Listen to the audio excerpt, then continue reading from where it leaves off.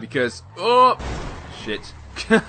Because like an all-terrain vehicle I know it's all, not all-terrain but you know a, a, more capable vehicle is probably needed. I should have probably taken a truck or a 4x4 or something uh, but I didn't. We've got another guy over here. I wonder if he where is he? I can't even see him. I wondered if this guy wanted to come join me on my heist but apparently not. Alright so let's go take this out. This is the first door so we've got to kind of scout out the place first and see go in here.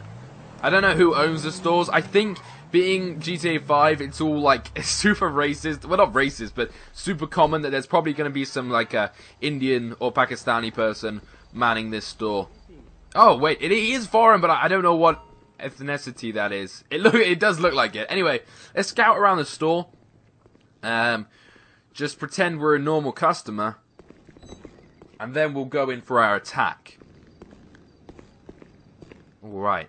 I don't know if he expects me yet, so I'm gonna go have a look down here. You can't come back Shut up, fam. I'm allowed to go in here if I want to. Alright, so, um, before we do this, let's have a quick look at where we need to go. Oh, wait, is this... Oh, it only shows me inside the store. That is not good. Alright, we need to kind of take him out. Um, what is the best gun for doing this?